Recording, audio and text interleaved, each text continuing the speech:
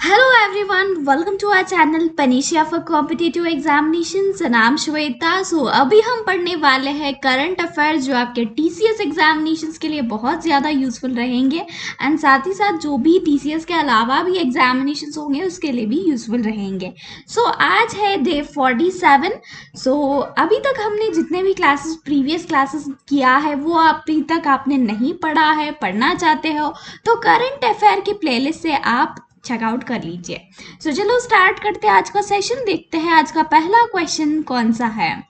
So who has been appointed as the director of the zoological survey of India so कौन है zoological survey of India का newly appointed director क्यों, कौन है? तो answer आपका हो जाएगा option number B, Dhriti Banerjee. Okay so इनके बारे में क्यों पढ़ रहे हम? क्योंकि ये जूलॉजिकल सर्वे ऑफ़ इंडिया की पहली वुमेन डायरेक्टर है। इसलिए ये क्वेश्चन हमारा क्या हो जाता है? इंपॉर्टेंट हो जाता है। ठीक है?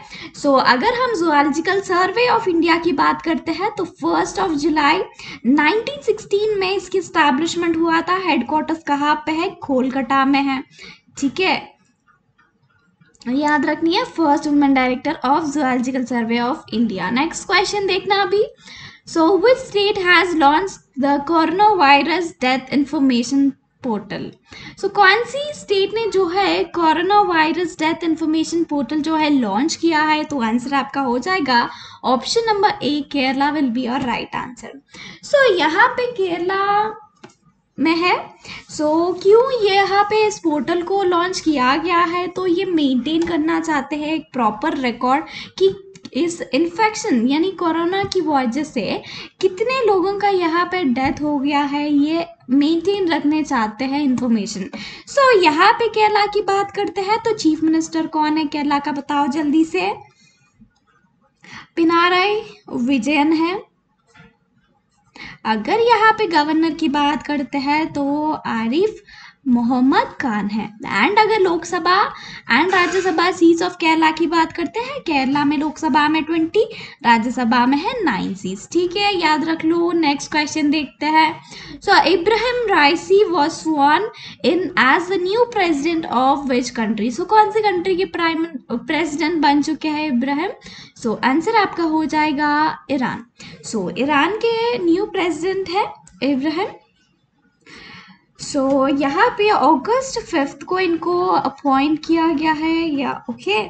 अगर यहाँ पे कैपिटल की बात करते हैं तो तेहरान है कैपिटल करेंसी की बात करेंगे तो rial is the currency and यहाँ पे सबसे इम्पोर्टेंट चीज़ एग्जामिनेशन में आ सकती है कि what is the old name of Iran क्या हो जाता है? Persia so Persia is the old name of Iran याद रखनी है नेक्स्ट क्वेश्चन देखते हैं अभी प्रेसिडेंट भी याद रखना जो भी न्यू न्यू प्रेसिडेंट होते हैं ना उनका क्वेश्चन आ जाता है एग्जामिनेशन में नेक्स्ट देखते हैं so again the most important question the Rajiv Gandhi Khel Ratna award will be renamed by which name so Rajiv Gandhi Khel Ratna award जो है उसको नया नाम दिया गया है। सो so वो क्या है? नाम क्या है बताओ? सो so, यहाँ पे आंसर ऑप्शन नंबर सी हो गया है मेजर ध्यानचंद खेल रत्न अवार्ड है। किसके द्वारा चेंज किया गया है? पीएम हमारे मोदी के द्वारा जो है इसको चेंज किया गया है। सो मेजर ध्यानचंद खेल रत्न अवार्ड चेंज किया गया है। इनके नाम के ऊपर ध्यानचंद Uh, कौन है तो बात करेंगे। तो यहाँ पे ये हमारे इंडिया के हॉकी प्लेयर हुआ करते थे। ओके इनका जो डेथ हुआ था ना, वो थर्ड ऑफ़ दिसंबर 1979 में हुआ था, याद रखनी है। और इनके रहते वक्त ना, हमको इंडिया को तीन बार गोल्ड मेडल मिल चुकी है। 1928 में 1932 में 1936 में, ओलंपिक्स में। याद रख लो, काफ़ी ज़्यादा इम्पोर्टेंट डेज़ है, क्योंकि इनके नाम पे चेंज किया गया है 1928 32 36 याद रखो। ओके नेक्स्ट क्वेश्चन देखते हैं। Who author the book title Begum and a Rani so किसने जो है इस बुक को लिखा है? तो आंसर आपका हो जाएगा रुद्रांशु मुखर्जी के द्वारा लिखा गया है। सो so, यहाँ पे कौन से बेगम और कौन सी रानी के बारे में इस बुक को लिखा गया है? तो यहाँ पे देखना बेगम हज़रत हज़रत महल कहा की अवाध की और रानी कौन थी? झांसी की ओके झांसी की Rani okay Rani Lakshmibai okay so so, ये दोनों के ऊपर जो है इस बुक को लिखा गया है कि उनके लाइफ में कितने स्ट्रगल्स होते थे और इनके जो 1857 के रिबीलियन के बारे में मोस्ट प्रोबेबली यहाँ पे लिखा गया है। ओके सो नेक्स्ट क्वेश्चन देखते हैं। याद रख लो ये बुक इम्पोर्टेंट हो जाता है क्योंकि थोड़ा हिस्ट्री से कनेक्टेड है। ठीक है ना? सो नेक्स्ट क्वेश्चन देखना। Who author the book title the biography of a failed venture decoding success secret from the black box of a dead startup so so, answer क्या हो जाएगा? इस बुक को किसने लिखा है? तो प्रशांत देसाई ने लिखा है। याद रख लीजिए नेक्स्ट क्वेश्चन देखते हैं। So Lavanshu Sharma who won the Bharat Kesari wrestling Dangal 2021 belongs to which state so कौन से स्टेट से बिलोंग करते हैं ये? लवांशु शर्मा सो आंसर आपका हो जाएगा उत्तराखंड। सो so, यहाँ पे भारत केसरी रेसलिंग दंगाल 2021 कहाँ पे हुआ तो?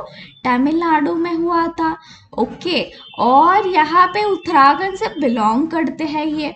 सबसे पहले उत्तराखंड के chief minister governor Lok Sabha and Rajya Sabha seat देखेंगे तो who is the chief minister Pushkar Singh Dhami is the chief minister अगर गवर्नर की बात करते हैं तो बेबी रानी मौर्य है।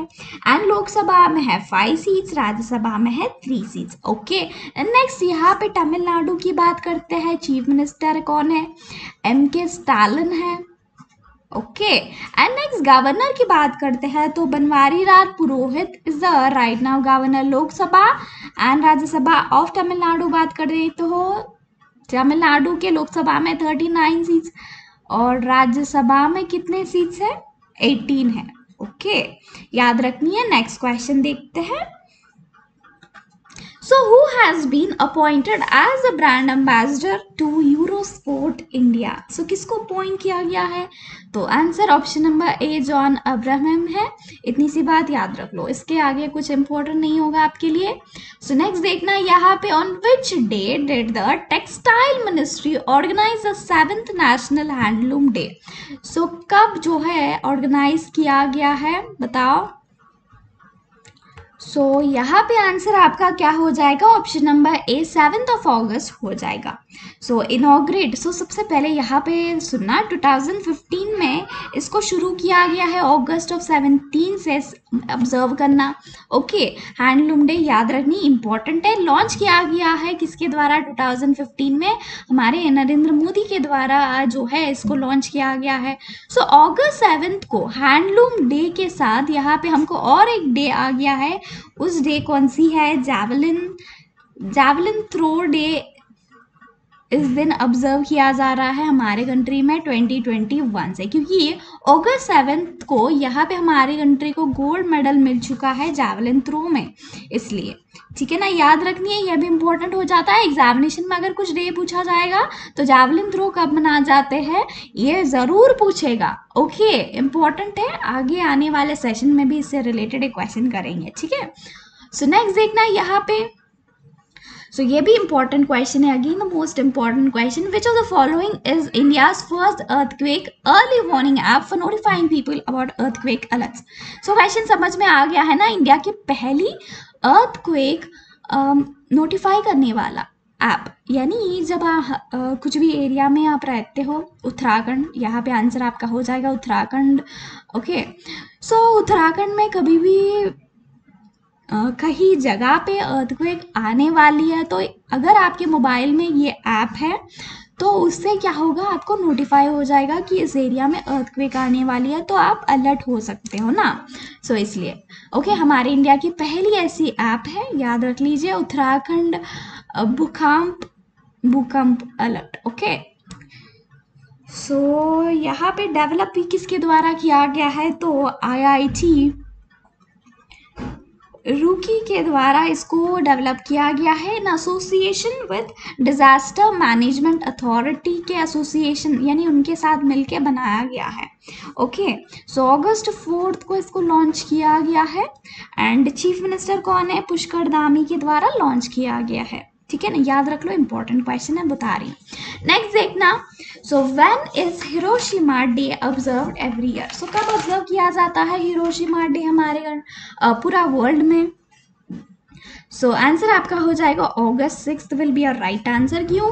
यहाँ पे हम 1945 को कमोमरेट यानी उस दिन को याद रखते हुए इस दिन को ऑब्ज़र्व करते हैं 1945 के अगस्त सिक्स को याद करते हुए हम इस डे को ऑब्ज़र्व करते हैं सो so, इस दिन को क्या इस दिन में क्या हुआ था सो so, 1945 में यूएस ने जापान के हिरोशिमा एक जगह की नाम है वहाँ पे जो है इन्होंने एक एटॉमिक बॉम्ब जो है डाला था ओके okay? और उसके बाद अगस्त नाइन्थ पे अगस्त नाइन्थ पे अगेन नागासाकी बोल के एक एरिया जापान में ही वहाँ पे अगेन डाला गया था।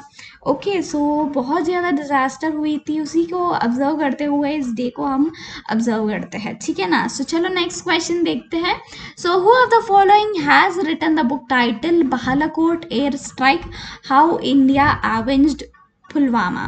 So so, यहाँ पे आंसर आपका क्या हो जाएगा? Option number A Manan but answer answer हो जाएगा मनान बट सो so, ये कौन है? तो ये एक रिटायर्ड नॉन कमिश्नर्ड ऑफिसर है। इंडियन नावी के इन्होंने जो है पार्टिसिपेट कारगिल वॉल में भी किया था और ऑपरेशन पारक्रम में भी किया था। ओके okay, इनके द्वारा इस बुक को लिखा गया है। याद रख लो ये भी इम्पोर्टेंट हो जाता है। एग्जामिनेशन में डायरेक्टली क्वेश्चन आ सकती है ठीक है ना? Okay okay? सो so, चलो इतना ही रखते हैं। आज का क्लास होप आपको अच्छी लगी होगी। क्वेश्चन सारे के सारे अच्छे हैं। बहुत अच्छे क्वेश्चन से याद रख लो। ठीक है ना? So thank you all for watching this session session अच्छी लगी है तो लाइक शेयर एंड सब्सक्राइब कर देना। एंड कल इसी टाइम पे हम इसी क्लास को कल करेंगे। Bye everyone